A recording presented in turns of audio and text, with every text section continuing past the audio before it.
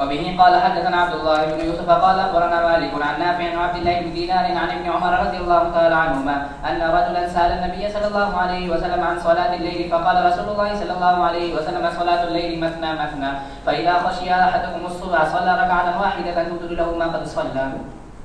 الحمد لله رب العالمين وصلى الله وسلم على رسوله الكريم وعلى آله وصحبه أجمعين. أما بعد باب ما جاء فی الوتر۔ وطر ایک نماز ہے۔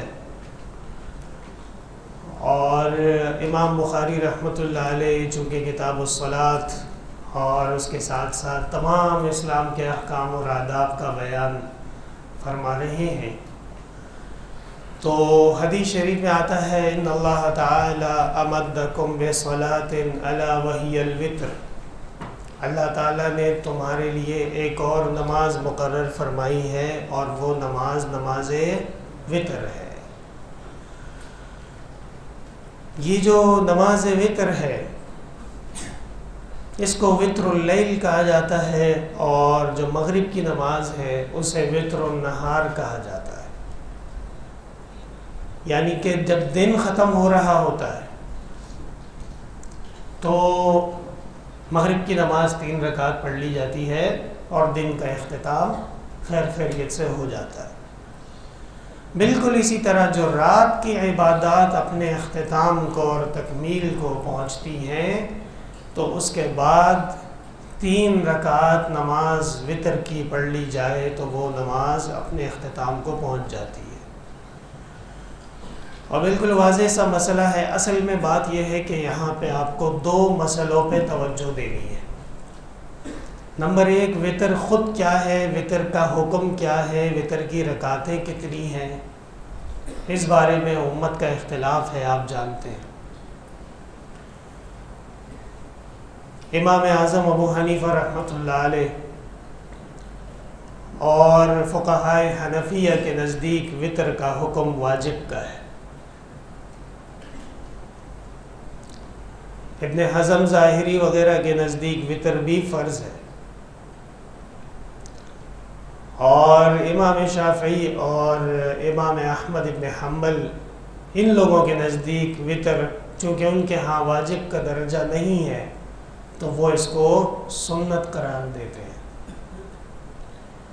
جی امیر صاحب، لڑکے آئے، نظر میں آئے تمہارے؟ ایک ہی ہے وہی جو سامنے کھڑا ہے، بس۔ ملی صاحب، آپ جمعرات کے دن صبح تھے اور پھر بخاری کے گھنٹے میں نہیں تھے۔ بتائیے، آپ کے پاس صفائی بیان کرنے کے لیے کچھ ہے؟ نہیں ہے۔ جی؟ کیا کہہ رہے ہیں؟ خون دینے گیا تھا۔ کس سے پوچھ کے گئے تھے کون سا وہ کائنات کا مخلوق ہے جس کو پتہ تھا کہ آپ خون دینے گئے؟ کلاس سے باہر چلے جائیں۔ بڑی آرام اور ترک شرافت سے۔ جائے جاؤ نوافل پڑھو، اللہ کو یاد کرو۔ جی اچھا تو وطر کے لیے اصل بات یہ ہے، علامہ ابن الحمام نے، علامہ بدر الدین عینی نے، اور ان تمام جو محققین ہیں فقہا اور محدثین ہیں، انہوں نے یہ دلائل جمع کیے ہیں کہ وطر واجب ہے۔ ٹھیک ہے؟ اور بات یہ ہے کہ اصل میں وجوب کا ایک درجہ اعلیٰ درجہ ہے۔ میں نے اس دن بھی بتایا تھا کہ حضرت شاہ صاحب رحمۃ اللہ علیہ فرماتے تھے کہ جیسے استحباب کا درجہ ہے اور جیسے مباح کا ایک درجہ ایسا ہے کہ وہ درجہ مستحب سے بھی لگتا ہے اور استحباب کا یہ مباح کا ایک درجہ ایسا بھی آتا ہے جو مکرو سے لگتا ہے۔ سمجھ میں آئی؟ اوپر بھی اور نیچے بھی۔ اور مثال دی تھی کہ حلال کام ہے طلاق دینا، لیکن ایک آدمی بار بار طلاق دے تو وہ کتنا بڑا گناہ گار ہوتا ہے، آپ بھی جانتے ہیں۔ بالکل اسی طرح، چونکہ وطر اخبار احاد سے ثابت ہو رہی ہے، اور اس کی تاکید اور اس کی پابندی اور اس کی ضرورت اور رسول اللہ صلی اللہ علیہ وسلم سے اس پر عمل وہ اتنا زیادہ پابندی کے ساتھ ہے اور اتنے زیادہ اس میں تاکید ہے اور خود پیغمبر کا عمل ہے کہ یہ ساری چیزیں جب آپ ملا لیں گے تو کم از کم درجہ وجوب کا اس کے لیے ثابت کرنا فقہ حنفیہ کے قاعدے اور قوانین کے مطابق ہے۔ سمجھ میں آ رہی ہے بات؟ اسی طرح پھر یہ اختلاف ہوتا ہے۔ کہ وطر کی نماز کتنی رکعت ہے۔ امام احمد اور محدثین جمہور کے نزدیک وطر کی نماز تین رکعتی ہے، یاد رکھیے گا۔ اختلاف صرف اتنا ہے کہ بے تسلیمتن او بے تسلیمتین وطر میں ایک سلام ہوگا یا وطر میں دو سلام ہوں گے، اس میں اختلاف اور احادیث کے ظاہر سے ایسا لگتا ہے کہ دو دو رکعت پڑھی، دو رکعت پڑھی، پھر دو رکعت پڑھی اور جب دو دو رکعت پڑھ کے اختتام کا ارادہ ہو گیا تو اس کے آخر میں ایک رکعت ملا دی، تو یہ بن گیا ایک رکعت یا تین رکعت؟ بتاؤ صوفی جی دو دو رکعت تو پہلے سے موجود ہیں۔ تو حکم نکالنے کے لیے کوئی سبب چاہیے، ورنہ یہی کہا جائے گا کہ حدیث شریف میں جس طرف اشارہ کیا گیا ہے یا جس عمل کا کہا گیا ہے، دیگر احادیث اس کے شواہد موجود ہیں۔ کیا موجود ہیں؟ شواہد۔ اور عمر ابن عبدالعزیز بنو میہ کے بہت بڑے خلیفہ اور مسلمانوں کے لیے مجدد کی حیثیت رکھتے تھے۔ اسبت الوطرا برکعات سلاسن و تسلیمت عمر ابن عبدالعزیز کے بارے میں کہا گیا کہ انہوں نے اپنی خلافت میں وطر کی نماز کو تین رکعات مقرر کیا تھا اور بتسلیمت اور وہ ایک سلام کے ساتھ کرواتے تھے۔ اسی طرح جو فقہ سبا مدینہ ہے سعید ابن المسیب، عروہ ابن زبیر، قاسم ابن محمد عبید اللہ ابن عبداللہ، بہت بڑے بڑے لوگ ہیں۔ یہ سارے کے سارے ان سے جب آپ فطر کے بارے میں اور ان کی روایات سنیں گے، معلومات لیں گے، یہ سارے کے سارے تین رکعت وطر کے قائل ہیں۔ سمجھ میں آئی بات؟ ہاں ایسا کوئی ایسی یعنی کہ معمولی بات نہیں ہے۔ کہ اتنے بڑے بڑے علماء کرام فقہ صبا اور عمر ابن عبدالعزیز اور بڑے صحابہ کرام، یہاں تک کہ امام بخاری رحمۃ اللہ علیہ نے دونوں طرح کی روایات لے کے آئے ہیں اور ترجیح بصلاح رکعت ان تین رکعت والی وطر کو امام بخاری نے ترجیح دی ہے۔ سمجھ میں آ رہی ہے بات؟ تو یہ دو مسئلے ایک مسئلہ تو یہ ہے کہ وطر کی کیفیت، وطر کی رکعتیں اور وطر کا حکم۔ اور دوسرا مسئلہ یہ ہے کہ اجعلو آخر صلاتکم باللیل وطرا رات کی آخری نماز وطر ہونی چاہیے۔ یہ حدیث شریف، بخاری شریف میں بھی موجود ہے۔ یہ حدیث، تمام معتبرات حدیث کے اندر موجود ہے۔ اس حدیث کا مطلب کیا ہے؟ اس حدیث کے اوپر عمل کیسے ہوگا؟ یہ بھی ایک بہت بڑا مسئلہ ہے جس پہ آپ کو غور کرنا ضروری ہے۔ اور اس بارے میں یاد رکھیے گا کہ رسول اللہ صلی اللہ علیہ وسلم کا عمل مبارک جو احادیث کے اندر آیا ہے کہ پیغمبر نے وطر پڑھی ثم صلی رکعتینی پھر پیغمبر نے دو رکعت پڑھی ہے اور حضرت والد صاحب رحمۃ اللہ علیہ سے ایک مقام پہ پاکستان کے عظیم عالم حضرت مولانا یوسف لدھیانوی رحمۃ اللہ علیہ نے پوچھا کہ رکعتین بعد الوطر کے بارے میں کوئی گنجائش نہیں ہے؟ حضرت والد صاحب نے جواب دیا کہ نہیں، کوئی گنجائش اس میں نہیں ہے استحباب اور کراہت کی۔ یہ مسئلہ کراہت و استحباب کا ہے، یہ مسئلہ فرض اور غیر فرض کا یا کفر و ایمان کا نہیں ہے۔ یہ بات پہلے وضاحت ضروری ہے۔ اس تو حضرت لدھیانوی رحمۃ اللہ علیہ نے فرمایا کہ وہ اس روایت کا کیا کریں گے؟ جس میں آتا ہے، آپ صلی اللہ علیہ وسلم نے وطر پڑھی سم صلی رکعتین قائدن پھر پیغمبر نے دو رکعت نماز پڑھی، بیٹھ کر۔ حضرت والد صاحب رحمۃ اللہ علیہ نے فرمایا، ابو داود شریف میں یہ روایات جو ذکر آئی ہیں، وہاں پہ آتا ہے رکعت الفجر۔ یہ جو دو رکعت وطر کے بعد پڑھی گئی ہیں، یہ دو رکعت فجر کی سنتیں ہیں، یہ نفلیں نہیں ہیں۔ اور وطر کا وقت اور سنت فجر کے وقت میں تغیر ہے۔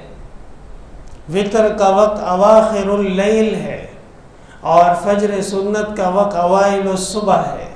سمجھ میں آ رہی ہے بات؟ ہاں لیکن راوی جب تفصیل بیان نہیں کرتا، اختصار کی وجہ سے وہ وطر کو اور فجر کی سنتوں کو آپس میں ملا لیتا ہے۔ سمجھ میں آئی بات؟ اسی طرح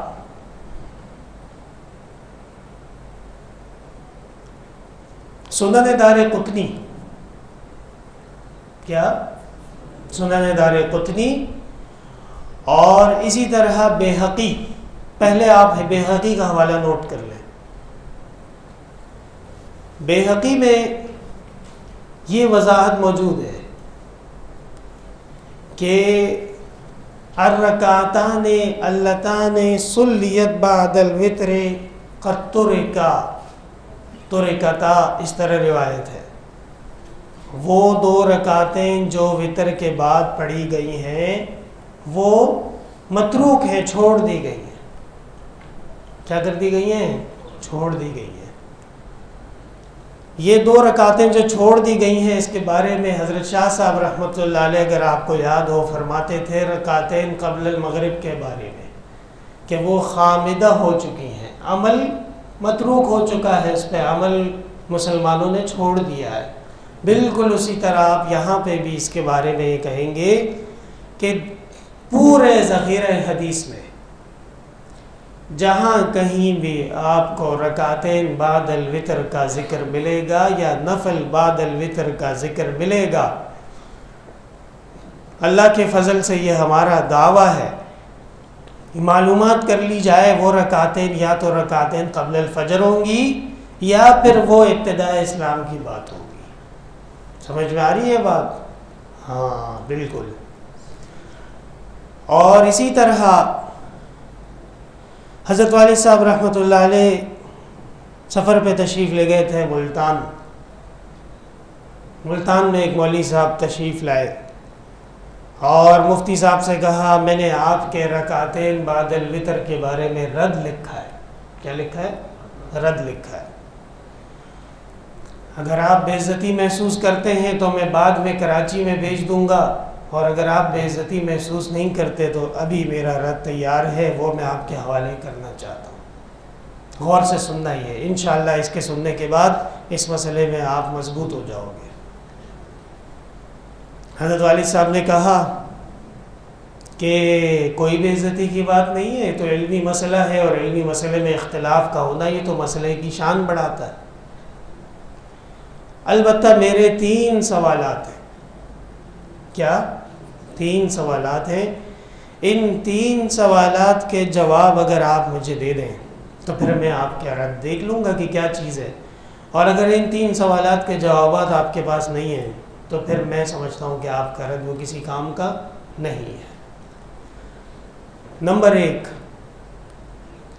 رسول اللہ صلی اللہ علیہ وسلم نے حدیث میں فرمایا ہے، اجعلوا آخر صلاتکم باللیل وطرا اور اسلام کے ہر مسئلے میں دونوں طرح کی روایتیں موجود ہوتی ہیں، ضعیف بھی اور صحابی کیا؟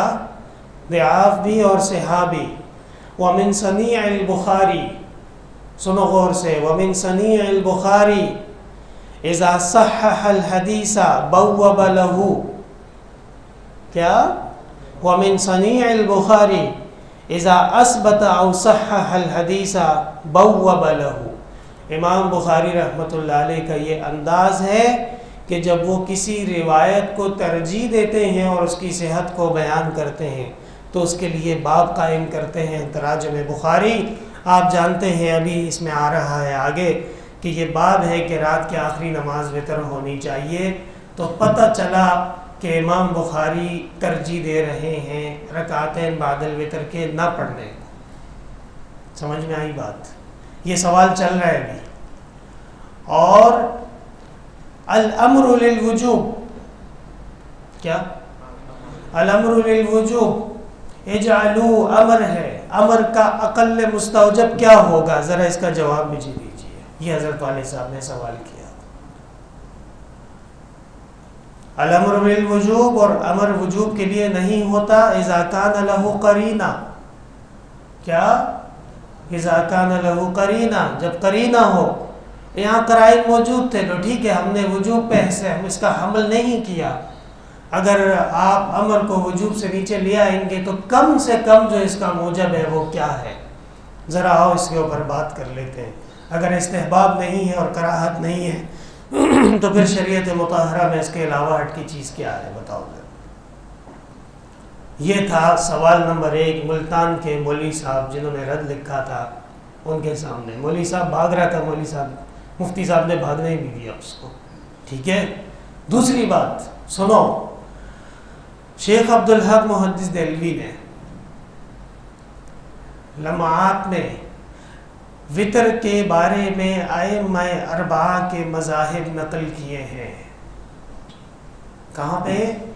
شیخ عبدالحق نے لمعات میں ائمہ اربعہ کے مذاہب وطر کے بارے میں رکعتین قبل الوطر وعد الوطر اور وطر کی تفصیل، وطر کتنے سلام سے ہوگا، وطر کتنی رکعتیں ہوں گی یہ ساری چیزیں اس کے اندر موجود ہیں۔ کیا آپ نے وہ دیکھی ہیں؟ نمبر دو، حضرت شاہ ولی اللہ رحمۃ اللہ علیہ کے ہم حسر عالم ہیں۔ حضرت مولانا عبدالعزیز فرہاروی۔ نام لکھو، حضرت مولانا عبدالعزیز فرہاروی جو ہم عصر ہیں شاہ ولی اللہ کے۔ ان کی کتاب ہے الکوثر النبی۔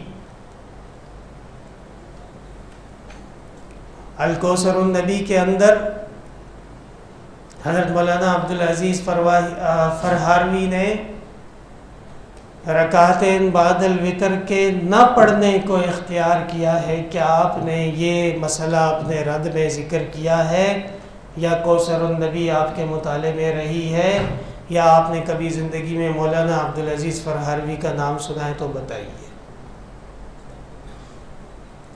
اور شیخ عبدالحق محدث دہلوی کی لمعات سے اور مولانا عبدالعزیز فرہاروی کی کوثر النبی سے ہی حضرت مولانا یوسف بنوری رحمۃ اللہ علیہ نے اور حضرت امام العصر، امام محمد انور شاہ کشمیری رحمۃ اللہ علیہ نے نقل کیا ہے اور آگے مسائل کو بیان کیا ہے۔ کیا یہ بات آپ کو معلوم ہے؟ جو آپ رکعتین بعد الوطر کے بارے میں رد لکھ رہے ہیں۔ یہ تو بتاؤ کہ حضرت یوسف بنوری کا مذہب یہ کدھر سے آیا ہے؟ اور حضرت مولانا یوسف بنوری رحمۃ اللہ علیہ بنوری ٹاؤن میں کھڑے ہو کے مسجد میں اعلان فرما چکے ہیں کہ وطر کے بعد نماز نہ پڑھا کرو، نوافل نہ پڑھا کرو۔ اس لیے کہ حدیث شریف میں آیا ہے کہ جناب رسول اللہ صلی اللہ علیہ وسلم نے کہا، اجعلوا آخر صلاتکم باللیل وطرا، رات کی آخری نماز وطر ہونی چاہیے۔ سوال نمبر دو ذہن نشین ہوا۔ نمبر ایک، کیا تھا نمبر ایک؟ ہاں کہ امر کا کیا کرنا ہے؟ اس کا کم سے کم اقل موجب کیا ہے؟ یہ آپ بتا دیں، ہم مان جاتے ہیں۔ اور ہر مسئلے کے اندر دعات بھی ہوتی ہیں صحا بھی ہوتی ہیں۔ عمل دعات پہ ہوتا ہے یا صحا بھی ہوتا ہے؟ ذرا اس قانون کے اوپر بھی نظر ڈال لیتے ہیں۔ ٹھیک ہے؟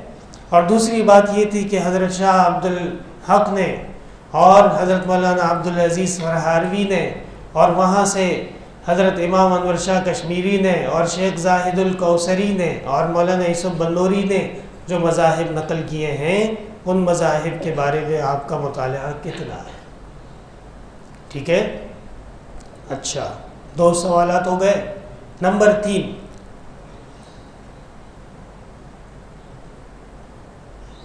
آپ نے رکاتین بعد الوطر میں حل بھی ایک کبیر شرح منیا کا ذکر کیا ہے۔ حضرت والد صاحب رحمۃ اللہ علیہ کو اللہ نے ایسے علوم دیے تھے کہ رد لکھنے والے کا پہلے سے حضرت کو پتا تھا کہ یہ مسئلہ کدھر سے لائے گا۔ حضرت نے وہ راستہ بھی بند کیا اس کا۔ فرمایا حل بھی ایک کبیر شرح منیا کے اندر ہے کہ وطر کے بعد نوافل پڑھ سکتے ہیں۔ مفتی صاحب نے فرمایا مولی صاحب حل بھی کبیر میں یہ بھی ہے کہ مغرب سے پہلے دو رکعت پڑھنی چاہیے، وہ مانتے ہو یہ نہیں مانتے ہو، یہ کون سا انصاف ہے؟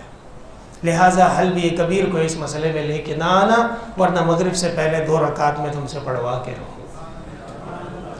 تو مولی صاحب نے کہا، میرا خیال ہے کہ میرا جو رد ہے، اس پہ ذرا نظر ثانی کر لی جائے۔ اور پھر بات کہ وہ جو ملی صاحب وہاں سے بھاگا ہے، آج تک سامنے نہیں آیا۔ سمجھ میں آئی بات؟ اور اسی طرح حضرت والد صاحب رحمۃ اللہ علیہ ایک دفعہ تشریف لے گئے تھے ڈیرا اسماعیل خان میں، حضرت مولانا فضل الرحمان صاحب کے گھر میں۔ وہ حضرت مولانا فضل الرحمان صاحب کے استاذ تھے، حضرت مولانا اکبر صاحب، کچھ عرصہ قبل ان کا انتقال ہوا ہے۔ شاید آپ نے ذکر سنا ہو۔ ان کے ایک شاگرد وہ پنجاب کے کسی دینی ادارے میں، بڑے علمی ادارے میں، پی ایچ ڈی، ڈاکٹریٹ کرنے لگا۔ رکاتین بادل وطر کے بارے میں۔ حضرت والد صاحب نے اس سے پوچھا کہ آپ ثابت کریں گے یا آپ اس کو مغرو قرار دیں گے؟ تو جب بات شروع ہو رہی تھی تو اس کا مذہب یہ تھا کہ رکاتین بادل وطر ہونی چاہیے۔ اور جب مجلس ختم ہو رہی تھی تو اس کا مذہب، اس کا ڈاکٹریٹ، پی ایچ ڈی بدل گیا اور اس نے کہا کہ نہیں ہاں اس میں تو میں پھنس جاؤں گا، بلکہ رکاتین بادل وطر نہیں ہونا چاہیے۔ ٹھیک ہے، دو باتیں ہو گئیں۔ اچھا جی آگے چلیں۔ وہ بے حقی کا حوالہ یاد رہے گا۔ ہاں بالکل۔ حضرت امام الحسر انور شاہ کشمیری رحمۃ اللہ علیہ نے رسالہ لکھا ہے۔ کشف الستر عن مسئلت الوطر۔ میں نے ابواب الوطر بھی آپ کو لکھوایا ہے اور مسلط الوطر، اصل نام اس کا مسلط الوطر ہے۔ کشف الستر عن مسئلت الوطر۔ تفصیلات کے لیے رسائل کشمیری میں یہ رسالہ شامل ہے، آپ حاصل کر لیں اور اس کو دیکھ لیں۔ اور اسی طرح حضرت مولانا یوسف بندوری رحمۃ اللہ علیہ کی جز و ابواب الوطر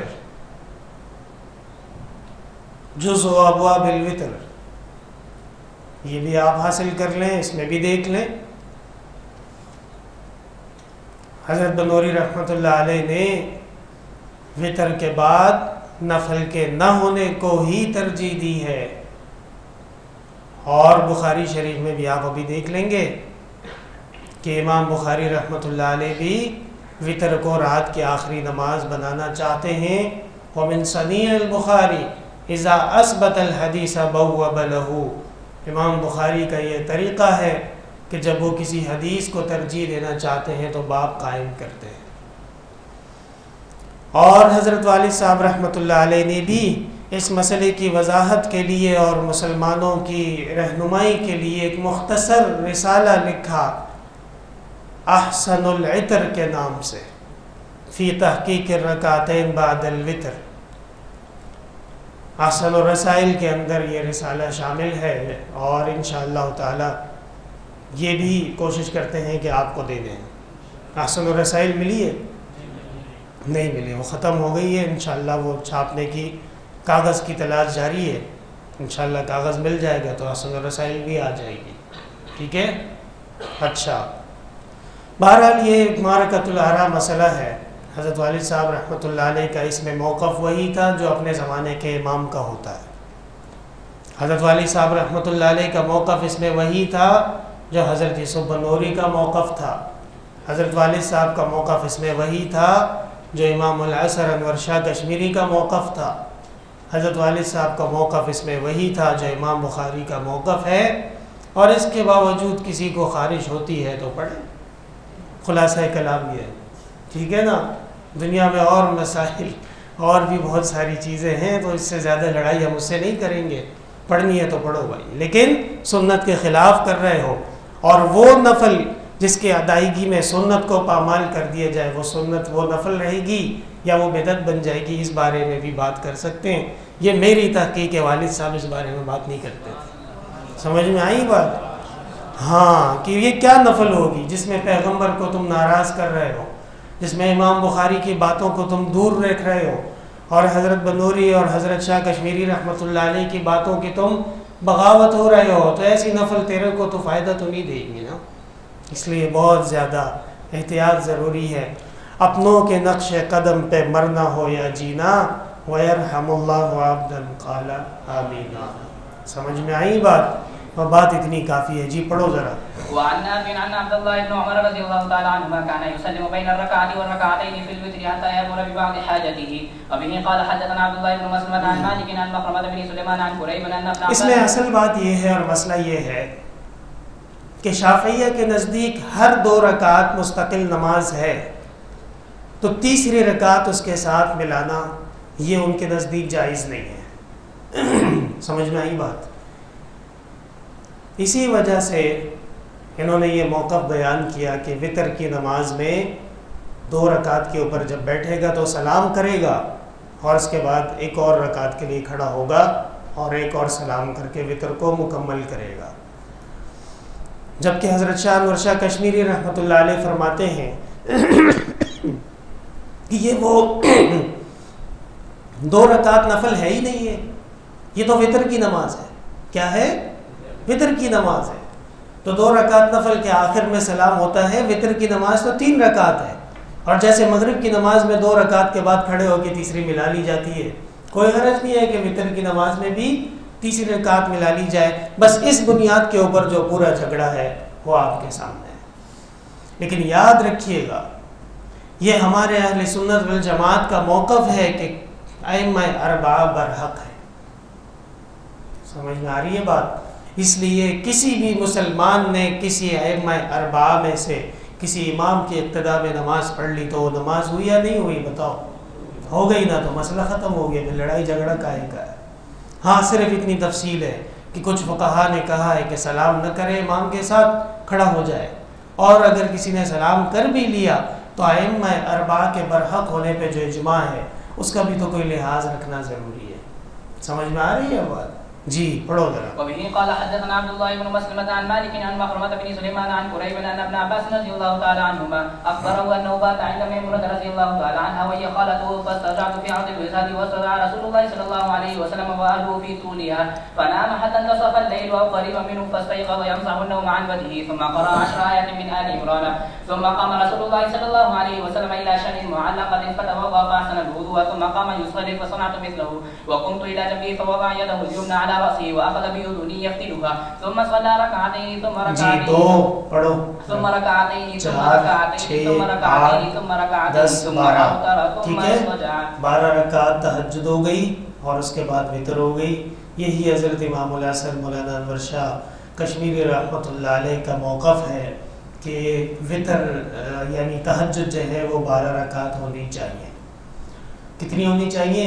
بارہ رکعت۔ اسی طرح ملا علی قاری کی کتاب شرح الشفا کیا؟ ہاں شرح الشفا میں ملا علی قاری نے امام ابو حنیفہ رحمۃ اللہ علیہ کا قول نقل کیا ہے کہ تہجد کی نماز بارہ رکعت پڑھنی چاہیے۔ تو حدیث کی مطابقت آ گئی نا کیسی زبردست امام اعظم ابو حنیفہ نے بھی وہی کہا، جو امام بخاری عبداللہ ابن عباس کی حدیث میں بیان فرما رہے ہیں۔ سب سے زیادہ موافقات ابو حنیفہ کے ساتھ ہیں۔ جی پڑھو۔ حتى جاءه المؤذن فقام فصلى ركعتين ثم خرج فصلى الصبح وبه قال حدثنا يحيى بن سليمان قال حدثني عبد الله بن وهب قال اخبرني عمرو بن الحارث عن عبد ہاں اور یہ بھی یاد رکھیے گا کہ مسلم شریف کے اندر وطر کے بعد دو رکعت کا ذکر ہے۔ مسلم شریف کے اندر وطر کے بعد دو رکعت کا ذکر ہے۔ اس کا جواب کیا ہے؟ مسلم شریف میں بین الاذانین بھی ہے۔ کیا ہے؟ بین الاذانین یعنی فجر کی اذان اور فجر کی اقامت۔ مسئلہ حل ہو گیا تو وہ رکعتیں کون سی ہیں؟ ہاں بالکل جی۔ جی پڑھو۔ أن عبد الرحمن بن القاسم حدثه عن أبيه عن عبد الله بن عمر رضي الله تعالى عنهما قال قال رسول الله صلى الله عليه وسلم صلاة الليل مثنى مثنى فإذا أردت أن تنصرف فاركع ركعة توتر لك ما صليت. قال القاسم ورأينا أناسا منذ أدركنا يوترون بثلاث ہاں دیکھ لو قاسم ابن محمد فقہائے سبا مدینہ میں سے ہیں۔ اسلام کے مسائل کے ستون ہیں۔ فرماتے ہیں، ہم نے لوگوں کو جب سے دیکھا، کتنی رکعت وطر پڑھتے ہیں؟ تین رکعت۔ دیکھ لو، امام بخاری بھی ترجیح دے رہے ہیں۔ جی۔ وإن كل لواسع وارجو أن لا يكون بشيء منه بأس۔ وبه قال حدثنا أبو اليمان قال أخبرنا شعيب عن الزهري قال حدثني عروة أن عائشة رضي الله تعالى عنها أخبرت أن رسول الله صلى الله عليه وسلم كان يصلي إحدى عشرة ركعة كانت تلك صلاته تعني بالليل فيسجد سجد من ذلك قدر ما يقرأ أحدكم خمسين آية قبل أن صبر صبر صبر. دیکھو یہاں پہ آتا ہے آپ صلی اللہ علیہ وسلم نے کتنی رکعت نماز پڑھی؟ گیارہ رکعت. ان گیارہ رکعت میں تین رکعت وطر کی نکال لو تین رکعت. کتنی بج گئی؟ آٹھ. یہ آٹھ رکعت کیا ہے، یہ قیام اللیل ہے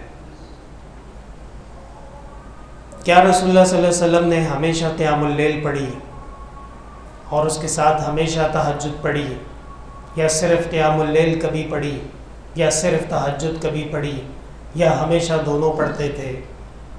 فی اقوال المختلفہ اس میں مختلف اقوال ہیں۔ اور بات یہ ہے کہ آپ صلی اللہ علیہ وسلم کے پاس کچھ کسان وغیرہ آئے تھے مظاہرے آئے تھے، اور انہوں نے پیغمبر سے شکایت کی کہ ہم سارے دن کی محنت کر کے کر کے کر کے تھک جاتے ہیں۔ اور ہم جو رات کو سوتے ہیں تو بس فجر میں بمشکل اٹھ پاتے ہیں۔ نیند ہماری پوری نہیں ہوتی، ہم رات کو عبادت کیسے کریں؟ آپ صلی اللہ علیہ وسلم نے فرمایا، سونے سے پہلے قیام اللیل کی نماز پڑھو، اس کے بعد وطر پڑھو اور سو جاؤ۔ سمجھ میں آ رہی ہے بات؟ اس کے حوالے، اس کی تمام چیزیں شیخ زاہد الکوثری رحمۃ اللہ علیہ نے اور حضرت بنوری رحمۃ اللہ علیہ نے اس میں پوری تحقیق کی ہے۔ کتابوں کے نام میں نے آپ کو بتا دیے ہیں۔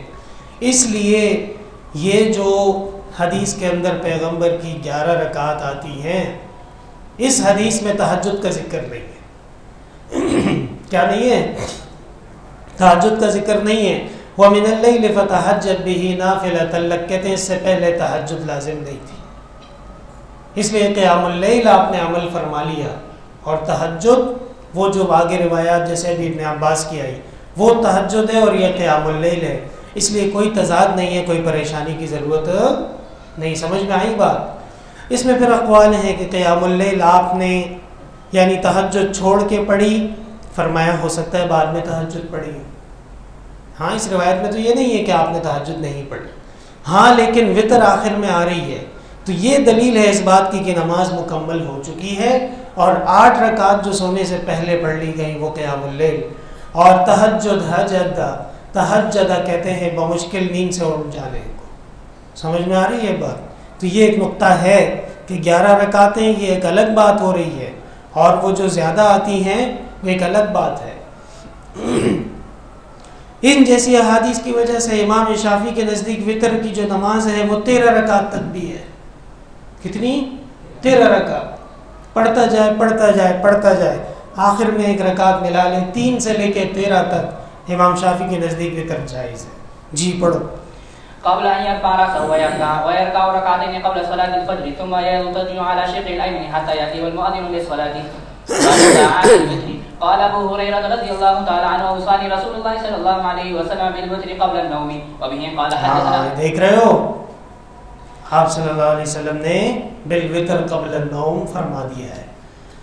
اور بالوطر بعد النوم اس کی فضیلت بالکل واضح ہے۔ اور اجالو آخر صلاتکم باللیل وطرن اس حدیث کا تقاضا بھی یہ ہے کہ وطر رات میں لمن یسقو الانتباہ جس کسی کو اٹھنے کا اعتماد ہو تو وہ رات کے آخری حصے میں وطر پڑھ لے۔ لیکن مسئلہ کچھ اور ہے۔ ایک آدمی سوتا رہ گیا اور فجر کی اذان ہو گئی۔ اب یہ کیا کرے گا؟ فرماتے ہیں کہ پہلے وطر پڑھ لے اور اس کے بعد سنت فجر پڑھ لیں دلیل؟ دلیل یہ ہے کہ امام ترمیزی رحمۃ اللہ علیہ نے یہ مسئلہ بیان کیا ہے کہ من فات حزب ہو جس کسی کا حزب پورا ہو جائے فلیو کم مل وہ اپنے حزب کو پورا کرے۔ ما ہوا الحزب؟ حزب کیا ہے؟ حزب کہتے ہیں معمول کو، حزب کہتے ہیں وظیفے کو، حزب کہتے ہیں ورد کو۔ تو وہاں سے آپ یہ دلیل لیں گے کہ امام ترمیزی نے فرمایا جس کے معمولات میں کوئی چیز فوت ہو جائے، اس کو فل کم ملو پورا کرے۔ اس لیے وطر چھوڑیں گے نہیں۔ کیا کریں گے؟ وطر پڑھیں گے، اس کے بعد فجر کی سنتیں پڑھیں گے۔ حضرت والی صاحب رحمۃ اللہ علیہ کا عمل اور فتویٰ اسی پہ کہ اگرچہ تاخیر ہو گئی، لیکن چھوڑ دینا اس سے بہت بہتر ہے کہ امام ترمیزی رحمۃ اللہ علیہ کے مسلک پہ عمل کرتے ہوئے وطر پڑھ لی جائے۔ بات سمجھ میں آئی؟ پڑھو۔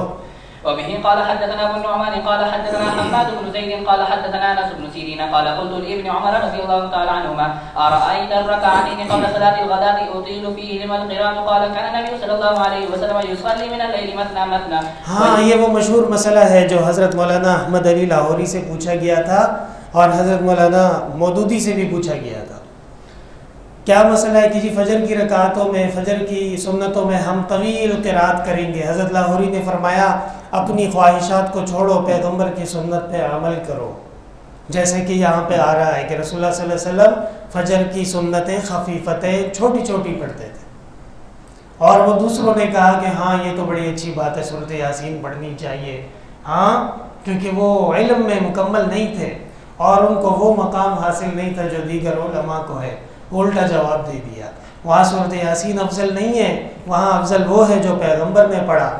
حضرت لاہوری کا جواب یاد رکھیے گا۔ اپنی خواہشات کو چھوڑو، پیغمبر کی سنت پر عمل کرنے کو یقینی بناؤ۔ جی۔ ويوتر بركعات ويصلي ركعتين قبل صلاة الغداة وكان لنا بدنيه وقال حماد أي بسرعة وبه قال حدثنا عمر بن حفص قال حدثنا أبي قال حدثنا الأعمش قال حدثني مسلم عن مسروق عن عائشة رضي الله تعالى عنها قالت كل الليل أوتر رسول الله صلى الله عليه وسلم وانتهى وتره إلى السحر باب ہاں یہ وہ دلائل ہیں جو وطر کے وجوب پہ دلالت کرتے ہیں۔ کہ آپ صلی اللہ علیہ وسلم ہمیشہ وطر پڑھتے تھے۔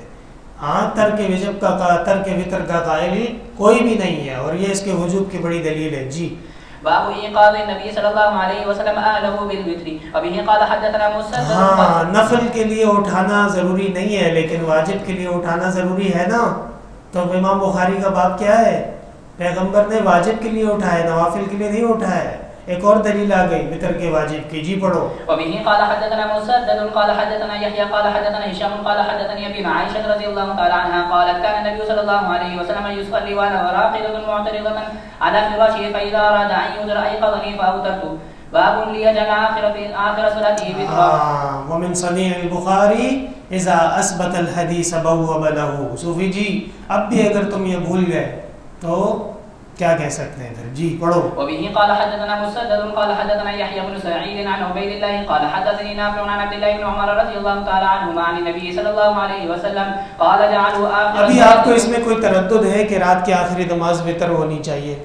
کسی طالب علم کو اس میں کوئی کوئی شک شبہ ہے؟ بات سمجھ میں آ گئی ہے۔ بعد میں بھاگو گے تو نہیں ڈرو گے بھی نہیں لوگوں کی باتوں کے جوابات بھی آپ کو آئیں گے۔ بس یہ بات کافی ہے تمہارے لیے۔ سمجھ میں آ رہی ہے بات؟ ہاں اس پہ اہتمام کرنا ذرا۔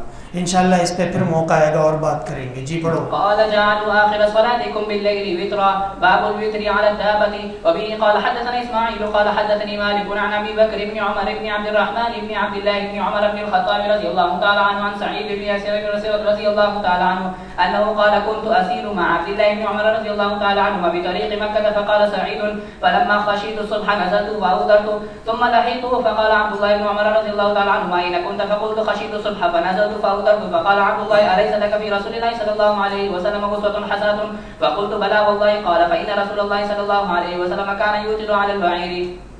وہ جو دوسرے صحابی نیچے اتر کے پڑھ رہے ہیں، وہ دلیل اس بات کی ہے کہ یہ نماز واجب ہے۔ کیوں نیچے اترے وہ؟ ان کو پتہ تھا نا کہ یہ عام نمازوں کی طرح نہیں ہے، بلکہ اس نماز کا وزن ہے، اس نماز کی اہمیت ہے۔ اور حضرت ابن عمر رضی اللہ عنہ کے فتح اور حضرت کے جو اعمال ہیں وہ دونوں طرف کے موجود ہیں۔ البتہ وہ ہمارا جو دعویٰ ہے کہ وطر واجب ہے، وہ اس حدیث سے بھی ثابت ہو رہا ہے۔ جی پڑھو۔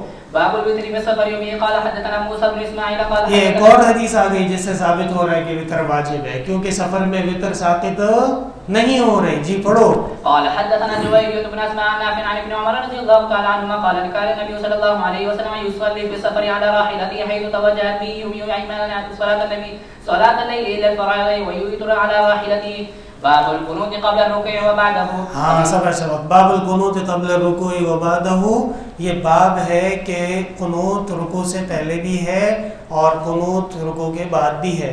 اس میں آپ نے آسان بات یاد رکھنی ہے کہ قنوت کی دو قسمیں ہیں، قنوت راتبہ اور قنوت نازلہ۔ قنوت راتبہ جو ہمیشہ پڑھی جاتی ہے قبل رکوع ہے، اور قنوت نازلہ جو کسی خاص موقع پہ پڑھی جاتی ہے بعد رکوع ہے۔ جن روایات میں قبل رکوع ہے وہ راتبہ ہو جائے گی۔ احناف کا عمل موجود ہے اور جن روایات میں بعد رکوع ہے وہ نازلہ ہے۔ احناف کا عمل موجود ہے۔ امام دعا کرے اور مقتدی اس کے پیچھے آمین کہیں۔ آہستہ آواز سے۔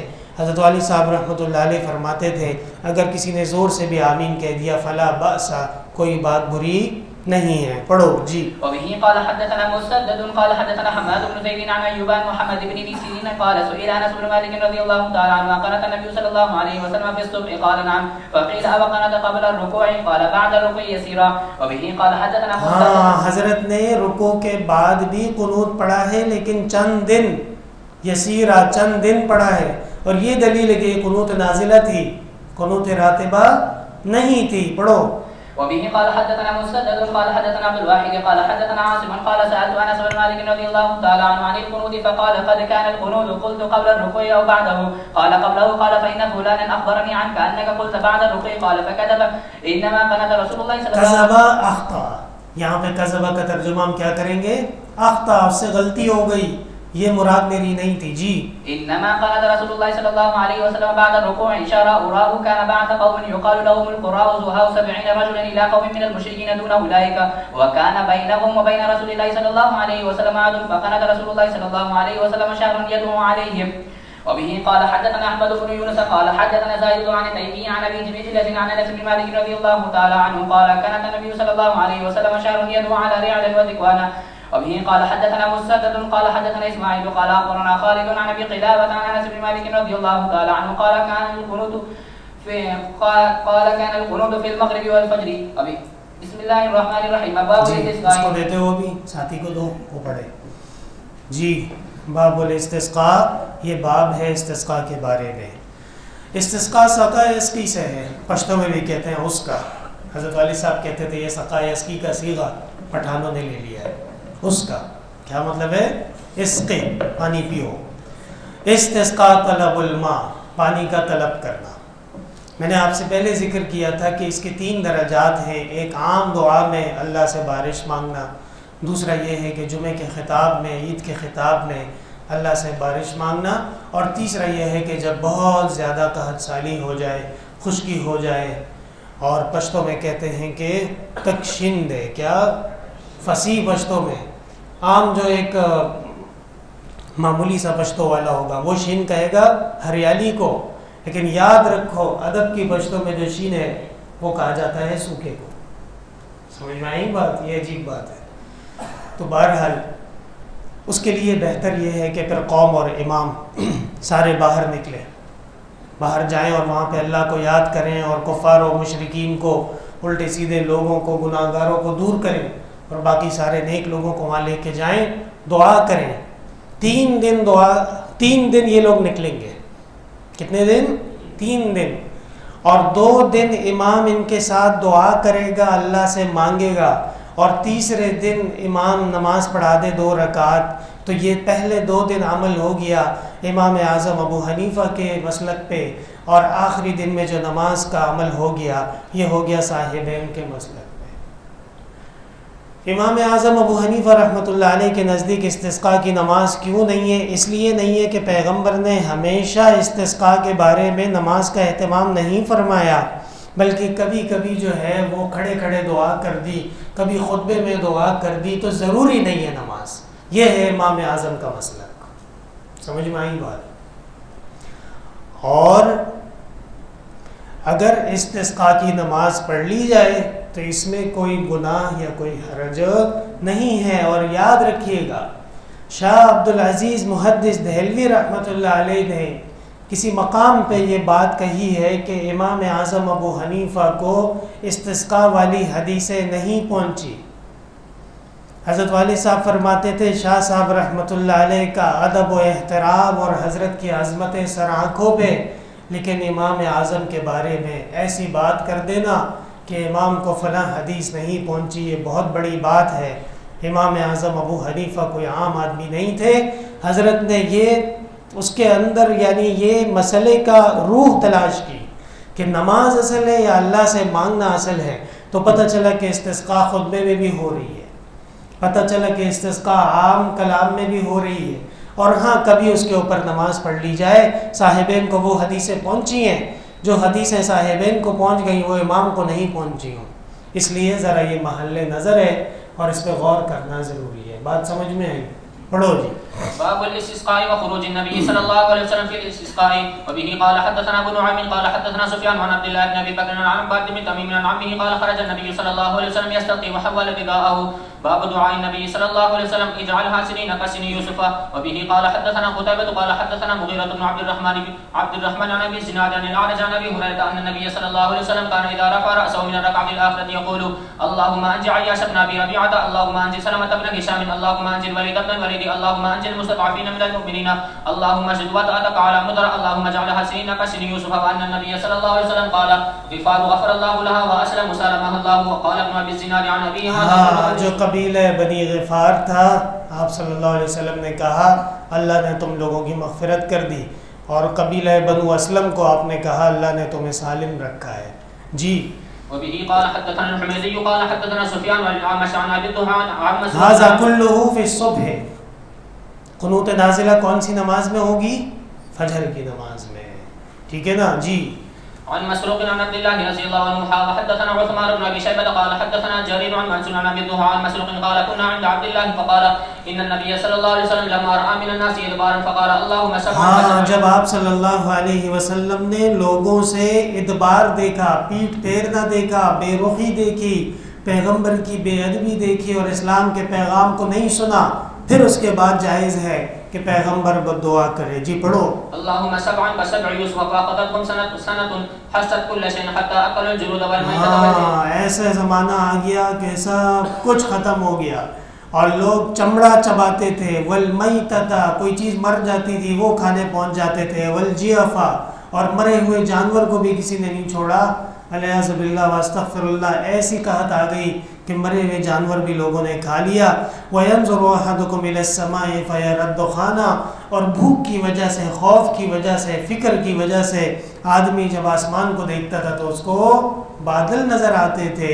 من الجوع فَأَتَاهُ ابو سفیان حضرت ابو سفیان آئے، فقال یا محمد اِنَّكَ تَعْمُرُ بِطَاعَةِ اللَّهِ وَبِسِلَةِ الرَّحَلِ اے محمد، اللہ کی اطاعت اور اپنے ساتھیوں کے ساتھ اچھا برتاؤ، یہ تو آپ کے دین کا حصہ ہے۔ وَإِنَّ قَوْمَكَ قَدْ هَلَكُوا دیکھ رہے ہو، ابو سفیان کو حق کا اندازہ ہو گیا ہے اور اسی لیے اللہ نے ان کو ایمان نصیب کیا کہ وہ کفر کی حالت میں بھی پیغمبر کے پاس آئے اور ان سے کہا، حضرت دعا کریں، لوگ مر گئے۔ ہاں فدع اللہ لہم قال اللہ عز و پھر یہ آیات جو نازل ہوئے ہیں سورہ دخان کی فرتقب یوم تات السماء بدخان مبین یخش الناس هذا عذاب علیم رب نکشف ان العذاب انا مومنون انا لکم الذکر وقد جاءکم رسول مبین کہ عذاب آ گیا۔ کیوں آیا؟ پیغمبر کی بات نہیں سنی تھی۔ پیغمبر کی توہین کی، پیغمبر کی بات نہیں مانی۔ اللہ نے کہا صبر کرو۔ ابھی تمہارے پہ ایسے عذاب آئے گا کہ تم چیخو گے کہ بھئی عذاب ختم ہو جائے لیکن عذاب ختم نہیں ہوگا جب تک کہ تم توبہ نہیں کرو گے۔ جی۔ إلى قوله إنكم عائدون يوم نبطش البطشة الكبرى فالبطشة يوم بدر قد متت الدخان والبطشة واللسان وآية الرومي باب ہاں یہ ہاں، صحابی فرماتے ہیں کہ کن عند عبداللہ۔ بالکل حدیث کی شروع میں دیکھو عبداللہ ابن مسعود راوی ہیں حدیث کے۔ وہ فرماتے ہیں کہ یہ قرآن کریم میں جو علامات قیامت آئی ہیں، یہ گزر گئیں۔ عبداللہ ابن مسعود کا یہ مذہب تھا۔ کیا کیا گزر گیا؟ دخان بھی گزر گیا۔ بدشاہ یوم بدر میں ہو چکا ہے اور لزام یعنی قید بھی ہو چکی ہے اور آیت الروم اور رومی جیت گئے تو وہ نشانی بھی پوری ہو چکی ہے۔ پڑھو۔ باب سؤال الناس الامام على الاستسقاء اذا قحطوا. وبه قال حدثنا عمرو بن علي قال حدثنا ابو قتيبة قال حدثنا عبد الرحمن بن عبد الله بن دينار عن ابيه قال سمعت ابن عمر يتمثل بشعر ابي طالب وابيض يستسقى الغمام بوجهه ثمال اليتامى عصمة دیکھو عبداللہ ابن عمر یہ شعر پڑھتے تھے وہ اب یستسقى الغمام بوجهه اور وہ حسین و جمیل گورا چہرہ کہ جس کے واسطے سے اللہ سے بارش مانگی جاتی ہے۔ جناب رسول اللہ صلی اللہ علیہ وسلم مراد ہے۔ وہ اب الغمام بوجهه وہ حسین و جمیل چمکتا ہوا چہرہ کہ جس کے واسطے سے اللہ سے پانی مانگا جاتا ہے۔ سمال الیتام عصمت للاراملی، یتیموں کا سہارا ہے اور بیواؤں کا مددگار ہے۔ جناب رسول اللہ صلی اللہ علیہ وسلم، یہ شعر پڑھے جی۔ وقال عمر بن حمزة حدثنا سالم بن نبي وربما ذكرت قول الشاعر وانا انظر الى وجه النبي صلى الله عليه وسلم يستسقي فما ينزل حتى يجيش كل ميزاب ہاں سارے راوی کہتے ہیں کہ میں نے رسول اللہ صلی اللہ علیہ وسلم کے چمکتے ہوئے چہرے کو دیکھا کہ اللہ سے مانگ رہے تھے بارش اور پھر میں نے اسی ممبر پہ اسی تقریر میں حضرت کو دیکھا کہ حضرت کے چہرے پہ پانی بہ رہا تھا۔ سمجھ میں آئی بات؟ جی پڑھو۔ وابيض يستسقى الغمام بوجهه اليتامى عصمة للارامل وهو قول ابي طالب. وبه قال حدثنا حسن بن محمد قال حدثنا محمد بن محمد. ہاں اس پہ لوگوں نے اعتراض کیا ہے کہ یہ ابو طالب کا قول ہے ٹھیک ہے ابو طالب کو ایمان نصیب نہیں ہوا لیکن یہ تو ادب کے مسائل ہیں۔ اور ادب میں تو امراء القیس کا کتنا بڑا مقام ہے۔ ہاں اور کتنے بڑے بڑے عربی شاعر گزرے ہیں۔ تو ابو طالب بھی ادیب تھا کوئی عام آدمی تو نہیں تھا وہ۔ ہاں ٹھیک ہے جی پڑھو۔ قال حدثنا محمد بن عبد الله الانصاري قال حدثني ابي عبد الله بن المثنى عن ثمامه بن عن ثمامه بن عبد الله بن انس عن انس بن مالك ان عمر بن الخطاب قال اذا قحط استسقى بالعباس بن عبد المطلب اس کو فقال تو کہیں گے، یہ مجهول پڑھنا زیادہ بہتر ہے۔ جب لوگوں کے اوپر قحط آ گیا کوہ تو۔ جی۔ فقال اللهم انا كنا نتوسل اليك بنبينا صلى الله عليه وسلم فتسقينا وانا نتوسل اليك بعم نبينا فاسقنا قال فيسقون باب تحميل الرداء في یہ وہ مسئلہ آ چکا ہے جسے وسیلہ کہتے ہیں مسئلہ وسیلہ اور اس کے اندر بہت بڑا اختلاف ہے۔ لیکن یاد رکھیے اہل سنت والجماعت کا مسئلہ کو مذہب اللہ کے فضل سے بالکل واضح ہے۔ حضرت مولانا حسین احمد مدنی رحمۃ اللہ علیہ نے کتاب لکھی ہے شہاب الثاقب۔ اور شہاب الثاقب میں حضرت نے فرمایا کہ میں سمجھتا ہوں کہ وسیلہ اختیاری نہیں ہے، بلکہ وسیلہ ضروری ہے۔ سمجھ میں آئی بات؟ ہاں ان بے ادبوں کو اور ان سارے ادھر ادھر کے لوگوں کو کہ جو وسیلے کے نام پہ لوگوں کو شرک و بدعت کے تانے دیتے ہیں شرم آنی چاہیے۔ یا اللہ الیہ الوسیلہ۔ اور یہ دیکھیے حضرت عمر رضی اللہ تعالی عنہ کا عمل۔ جناب رسول اللہ صلی اللہ علیہ وسلم جا چکے ہیں۔ حضرت عمر نے فرمایا، اللہ پیغمبر چلے گئے، پیغمبر کے چچا عباس موجود ہیں۔ آپ ان کی برکتوں سے ہماری دعا قبول کیجیے اور بارش کیجیے۔ تو یہ دلیل وسیلہ کی نہیں ہے، تو پھر کیا ہے؟ سمجھ میں آئی بات؟ اور یہ ایک بہت بڑی طویل بحث ہے۔ خلاصہ کلام کے طور پہ یہی یاد رکھنا ہے آپ نے کہ وسیلہ صرف اور صرف اس حد تک کہ اللہ سبحانہ و تعالی کی مخلوق میں جو نیک لوگ گزرے، جو اولیاء گزرے، جو علماء گزرے، ان کی، ان کے دعاؤں میں ذکر کر لینے سے دعاؤں کی قبولیت میں زیادہ امکانات بڑھ جاتے ہیں۔ اس کو وسیلہ کہتے ہیں۔ بس۔ کیا؟ ان کا دعاؤں میں ذکر کرنا، ان کو اللہ کا، اللہ کو ان کے واسطہ دینا اللہ تعالیٰ کو، ان کے عظیم مقامات اور مرتبے کی دہائی دینا، یہ وسیلہ کہلاتا ہے۔ اور یہ حدیث شریف آپ کے سامنے آپ دیکھ رہے ہیں کہ حضرت عمر رضی اللہ تعالیٰ عنہ حضرت عباس کو باقاعدہ طلب کرتے تھے کہ حضرت جی آئیے، نماز پڑھیں گے، دعا کریں گے، استسقاء کی۔ اور وہاں پہ پھر حضرت یہ فرماتے تھے کہ وسیلہ یہ ہونا چاہیے۔ جہاں تک تعلق ہے امام ابن تیمیہ اور ان کے اصحاب کا انہوں نے وسیلے کا قطعا رد کر دیا ہے اور انہوں نے کہا ہے کہ وسیلہ یہ علیہ بدت کا طور طریقے ہیں۔ تو بات یہ ہے کہ امام ابن تیمیہ رحمۃ اللہ علیہ کو جوابات دیے ہیں۔ شیخ الاسلام تقی الدین سبکی نے۔ ہاں یاد رکھیے گا صوفی جی۔ شیخ الاسلام تقی الدین سبکی، شفاء السقام۔ کیا؟ ہاں بیمار کی شفا۔ الا وسیلت خیر الانام رسول اللہ صلی اللہ علیہ وسلم کا وسیلہ کرنا ثابت ہے یا غلط ہے؟ اس کے بارے میں شیخ الاسلام تقی الدین سبکی کی کتاب یہ حوالہ آپ نے یاد رکھنا ہے۔ دوسری بات، شیخ زاہد الکوثری کی بھی کتاب ہے وسیلے کے اوپر۔ وہ بھی آپ کے علم میں ہونی چاہیے۔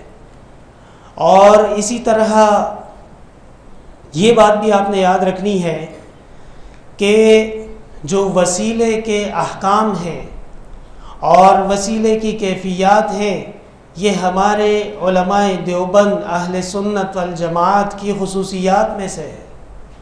اس لیے کہ جو لوگ ان چیزوں کو بھی نہیں مانتے، وہ دلیل دیتے ہیں علامہ آلوسی روح المعانی کی، خاص طور پہ ہمارے جو اشاعتی وغیرہ ہیں۔ یہ آپ کو ٹھک سے بولیں گے کہ روح المعانی میں علامہ آلوسی نے لکھا ہے کہ جی کسی کا نام لینا، کسی کا ذکر کرنا، دعا میں کسی کا وسیلہ، یہ بدعت ہے۔ آپ ان کو ایک ہی جواب دیں گے۔ کیا جواب دیں گے؟ بتاؤ۔ شیخ زاہد الکوثری رحمۃ اللہ علیہ نے لکھا ہے کہ وہ اما آلوسی فقد اختا او تصرف ابنہ فی المسئلہ۔ یا تو علامہ آلوسی کو ان مسائل میں وسیلے کی وہ باتیں جو ہمارے بزرگان دین اور علماء اور محدثین، وہ منہج ان کو معلوم نہیں ہوا، یا پھر ان کا ایک بیٹا ہے، اس کا نام ہے امین امین آلوسی۔ وہ قدرے کچھ متاثر تھا اپنے زمانے کے لوگوں سے، اور وہ شیخ آلوسی کی تفسیر میں کچھ رد و بدل بھی کر چکا ہے۔ چلو ان ساری باتوں کو چھوڑو۔ شیخ آلوسی کا فیصلہ کیا ہے اس کے اوپر آ جاتے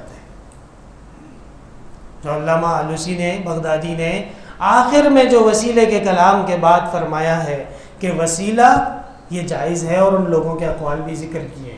اور پہلے خوب وسیلے والوں کو غصہ کیا ہے، لیکن آخر میں جا کے پھر وسیلے کے جواز کا قول بھی کیا ہے۔ سمجھ میں آئی بات؟ تو تم ایک آنکھ بند نہیں کرو، دو دونوں آنکھیں بند کرو یا دونوں کھولو۔ اگر روح المانی لاتے ہو تو پھر ہم بھی دکھائیں گے، اور اگر نہیں لاتے ہو تو پھر آرام سے بیٹھو۔ اور اسی طرح الوسیلہ الا وسیلہ، پہلا وسیلہ سواد سے ہے، دوسرا وسیلہ سین سے ہے۔ ٹھیک ہے؟ یہ ساری کی ساری چیزیں آپ نے یاد رکھنی ہے ابھی پڑھ لو، چونکہ وقت کم ہے اور میں چاہتا ہوں کہ یہ باب ہم ختم کریں۔ تو اس میں مزید کچھ تفصیل ہوگی تو انشاءاللہ اس کو کل دیکھیں گے۔ پڑھو ذرا جی۔ باب الرداء الاستسقاء وبه قال حدثني اسحاق قال حدثنا وهب بن جرير قال اخبرنا شعبة عن محمد بن ابي بكر عن عباد بن تميم عن عبد الله بن زيد ان النبي صلى الله عليه وسلم استسقى فقلب رداءه حضرت مولانا عبد الحی لکھنوی رحمۃ اللہ علیہ کی کتاب تذکرۃ الراشد پہلے بھی میں نے اس کا ذکر کیا ہے۔ یہ بھی آپ نے یاد رکھنی ہے وسیلہ کے بارے میں۔ تذکرۃ الراشد ٹھیک ہے؟ ہاں بالکل۔ اور اسی طرح جی پڑھو۔ وبه قال حدثنا علي بن عبد الله، قال حدثنا سفيان عن عبد الله بن ابي بكر انه سمع عباد بن تميم يحدث اباه عن عمه عبد الله بن زيد ان النبي صلى الله عليه وسلم خرج الى المصلى فاستسقى، فاستقبل القبلة وقلب وقلب رداءه وصلى ركعتين. قال ابو عبد الله، كان ابن عيينة يقول هو صاحب الاذان ولكنه وهم وهم فيه لانه لانها ہاں کبھی کبھی غلطی ہو جاتی ہے۔ سفیان ابن عیینہ سے غلطی ہو گئی۔ عبداللہ ابن زید کو ابن عبد ربی ہی کہہ رہے ہیں۔ اذان والے امام بخاری کہتے ہیں، یہ وہ عبداللہ ابن زید نہیں ہے، یہ عبداللہ ابن زید مازینی انصاری ہیں۔ دوسرے ہیں امام بخاری کی بات صحیح ہے۔ جی پڑھو۔ لأن هذا عبد الله بن زيد بن عاصم المازني مازن الأنصاري باب انتقام الرب عز وجل من خلقه بالقحط إذا انتهك محارمه باب الاستسقاء في المسجد. ہاں یہ امام بخاری نے باب قائم کیا لیکن حدیث لے کے نہیں آئے کہ اللہ تعالیٰ ناراض ہو جاتے ہیں تو بندوں کے اوپر قحط آ جاتی ہے۔ فرمایا اصل میں یہ وہی بات ہے کہ وہ جو رسول اللہ صلی اللہ علیہ وسلم کی بات نہیں سنی گئی تو آپ نے دعا فرمائی اللہم جعلہم سنی کا سنی یوسفہ اور اس کے بعد جو مکہ والوں کی حالت ہوئی ہے وہ کافی ہے۔ سمجھ میں آئی اس لیے حدیث لے کے نہیں آئے؟ جی پڑھو۔ وبه قال حدثنا محمد، قال حدثنا ابو ضمد انس بن عياض، قال حدثنا شريك بن عبد الله بن ابي نمير انه سمع انس انس بن مالك يذكر ان رجلا ان رجلا دخل يوم الجمعه من باب كان مجاور من باب رسول الله صلى الله عليه وسلم قائم يخطب، فاستقبل رسول الله صلى الله عليه وسلم قائما، فقال يا رسول الله، هلكت الاموال وانقطعت السبل فادعوا الله ان ان يغيثنا. قال فرفع رسول الله صلى الله عليه وسلم يديه، فقال اللهم اسقنا اللهم اسقنا اللهم اسقنا. قال انس فلا والله ما نرى في السماء من سحابه ولا قزعه ولا شيء ولا بيننا وبين سرع من بيت ولا دار. قال، فطلعت من ورائه من ورائه سحابة مثل الطوس فلما توسطت توسطت السماء انتشرت ثم امطرت قال فوالله ما راينا الشمس سبتا ثم دخل رجل من ذلك الباب في الجمعة المقبلة ورسول الله صلى الله عليه وسلم قال من يخطب فاستقبله قائما فقال يا رسول الله هلكت الأموال من قطع بسبل فادعوا الله أن يمسكها؟ قال فرفع رسول الله صلى الله عليه وسلم يديه ثم قال اللهم حولنا ولا علينا اللهم على الاقام والجبال والضراب والأودية ومنابت الشجر قال فانقطعت وخرجنا نمشي في الشمس. قال شريك فسالت أنس هو الرجل الأول. قال لا أدري. باب الاستسقاء في خطبه الجمعة غير مستقبل القبلة. وبه قال حدثنا قتيبة بن سعيد قال حدثنا إسماعيل بن جعفر عن جعفر بن شريك عن أنس بن مالك أن رجلا دخل المسجد يوم الجمعة من, باب كان نحو دار نحو دار القضاء ورسول مطالعہ کیا تھا؟ مطالعہ کیا تھا؟ ہاں؟ اچھا پڑھو جی۔ ورسول الله صلى الله عليه وسلم قال من يخطب فاستقبل رسول الله صلى الله عليه وسلم. قال ثم قال يا رسول الله هلكت الأموال من قطعت السبل؟ فادعوا الله فادعوا الله يغيثنا فرفع رسول الله صلى الله عليه وسلم يديه ثم قال اللهم اللهم أغثنا اللهم أغثنا اللهم أغثنا. قال أنس بلا والله ما نرى في السماء من سحاب ولا قزعه وما بيننا وبين سبع من دار من من بيت ولا دار. قال فطلعت من ورائه سحابه مثل الترس فلما توسطت انتشرت ثم امطرت فلا والله ما رأينا الشمس سبلا. ثم دخل رجل من ذلك الباب في الجمعة ورسول الله صلى الله عليه وسلم. قائم يخطب فاستقبله قائما فقال يا رسول الله هلكت الأموال من قطعت السبل فادعوا الله يمسكها عنا. قال فرفع رسول الله صلى الله عليه وسلم يديه ثم قال اللهم حولنا ولا علينا. اللهم على الاكام والضراب وبطون الاوديه ومنابت الشجر. قال قال فاقلعت وخرجنا نمشي في الشمس. قال شريك. فسألت أنس بن مالك أبو الرجل الأول؟ قال فقال لا أدري. باب الاستسقاء على المنبر. وبه قال حدثنا مسدد. قال حدثنا أبو عوانة عن قتادة عن أنس بن مالك. قال بينما رسول الله صلى الله عليه وسلم يخطب يوم الجمعة إذ جاء رجل فقال يا رسول الله طاحت المطر فادعوا الله أن يسقينا. فدعا فمطرنا فما كدنا أن نصل إلى منازلنا فما زلنا نمطر إلى الجمعة. مقبلة فقال قال فقام ذلك الرجل غيره فقال يا رسول الله ادعوا الله أن يصرفه عنا. فقال رسول الله صلى الله عليه وسلم اللهم حوالنا ولا علينا. قال فلقد رأيت الصحابه يتقطعوا يمينا وشمالا يمطرون ولا يمطر أهل المدينة.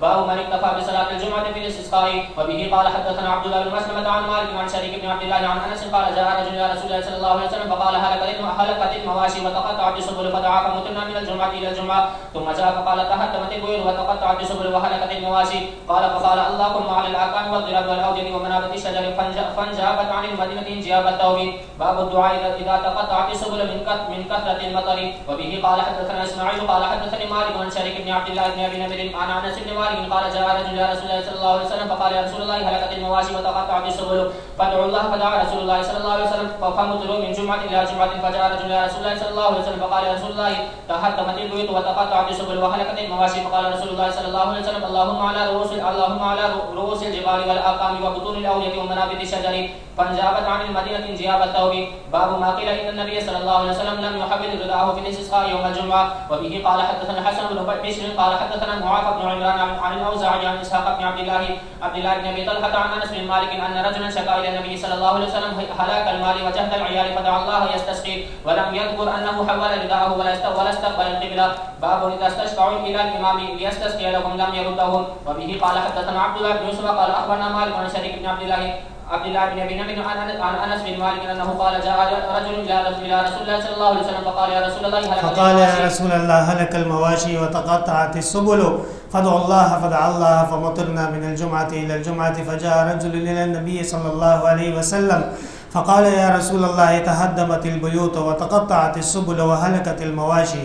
فقال رسول الله صلى الله عليه وسلم اللهم على ظهور الجبال والأكام وبطون الأودية ومنابت الشجر فانجابت عن المدينة انجياب الثوب جي. باب اذا استشفع المشركون بالمسلمين عند القهط وبه قال حدثنا محمد بن كثير عن سفيان، قال قال حدثنا منصور والاعمش عن ابي الضحى عن مسروق، قال اتيت ابن مسعود فقال ان قريشا ابدوا عن الاسلام فدعا عليهم النبي صلى الله عليه وسلم فاخذتهم سنه حتى حتى هلكوا فيها واكلوا الميتة والعظام فجاءه ابو سفيان فقال يا محمد جئت تامر بصله الرحم وان قومك قد هلكوا فادعوا الله عز وجل فقرا فارتقب يوم تاتي السماء بدخان مبين الايه ثم عادوا الى كفرهم فذلك قوله تعالى يوم نبطش البطشه الكبرى يوم بدر وزاد اسباب عن منصور فدعا رسول الله صلى الله عليه وسلم فسق الغيث ان کو بارش آ گئی جی ایسی بارش ہوئی کہ سات دن بارش رہی اور لوگوں نے پیغمبر سے آ کے کہا کہ حضرت سب تباہ ہو گیا دعا فرمائے بارش رک جائے۔ جی۔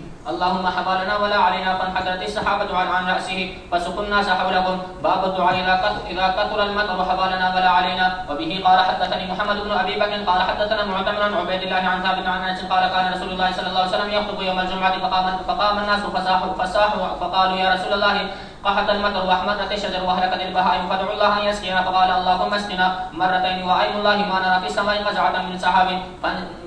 فنشأت سحابة وأمطرت ونزل عن عن المنبر فصلى فلما انصرف لم لم تزل تمطر إلى الجمعة التي تليها.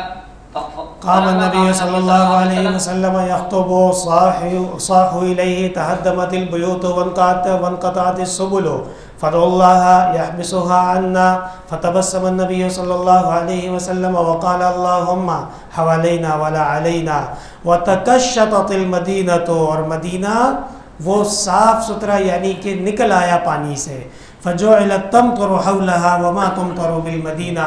مدینہ کے آس پاس بارش ہوتی تھی، لیکن مدینہ میں بارش ہو نہیں ہوتی تھی قطرۃ ایک قطرہ بھی نہیں۔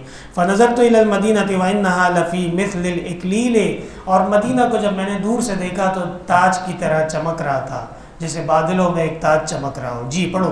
باب الدعاء في الاستسقاء قائما. وقال لنا ابو نعيم عن زهير عن ابي اسحاق خرج عبد الله بن يزيد الانصاري وخرج معه البراء بن عازب وزيد بن ارقم فاستسقى فقام لهم على رجليه على غير منبر، فاستسقى ثم صلى ركعتين يجهر بالقراءة ولم يؤذن ولم يقم. قال ابو اسحاق وروى عبد الله بن يزيد النبي صلى الله عليه وسلم، وبه قال حدثنا ابو اليمان، قال اخبرنا شعيب عن الزهري، قال حدثني عباد بن تميم ان عمه وكان من اصحاب النبي صلى الله عليه وسلم اخبره ان النبي صلى الله عليه وسلم خرج بالناس يستسقي لهم، فقام، فدعا فدعا الله قائما، ثم توجه قبل القبلة وحول رداه فاسقوا باب الجهر بالقراءة في الاستسقاء وبه قال حدثنا ابن نعيم قال حدثنا ابن أبي ذئب عن الزهري عن عباد بن تميم عن عمه خرج النبي صلى الله عليه وسلم يستسقي فتوجه, فتوجه إلى القبلة يدعو وحول رداءه ثم صلى ركعتين يجهر فيهما بالقراءة. باب كيف حول النبي صلى الله عليه وسلم ظهره إلى الناس.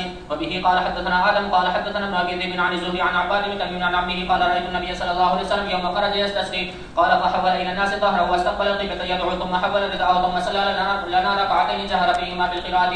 باب صلاة الاستسقاء قال ركعتين وبه قال حدثني قتيبة بن سعيد قال حدثنا سفيان عن عبد الله بن ابي بكر عن عباد بن تميم عن عمه ان النبي صلى الله عليه وسلم استسقى فصلى ركعتين وقلب رداءه باب الاستسقاء في المصلى. وبه قال حدثنا عبد الله بن محمد قال حدثنا سفيان عن عبد الله بن ابي بكر سمع عباد بن تميم عن عمه قال خرج النبي صلى الله عليه وسلم الى المصلى. يستسقي واستقبل القبلة فصلى ركعتين وقلب رداءه قال سفيان واخبرني المسعودي عن ابي بكر قال جعل جعل اليمين على الشمال باب الاستسقاء باب استقبال القبلة في الاستسقاء. وبه قال حدثنا محمد قال أخبرنا عبد الوهاب قال حدثنا يحيى بن سعيد قال أخبرني أبو بكر بن محمد أن عباد بن تميم أخبره أن عبد الله بن أن عبد الله بن زيد الأنصاري أخبره أن النبي صلى الله عليه وسلم خرج إلى المصلى يصلي وأنه لما دعا قال أو أراد أن يدعو استقبل القبلة وحول رداءه قال أبو عبد الله عبد الله بن زيد هذا مازري والأول كوفي هو ابن يزيد.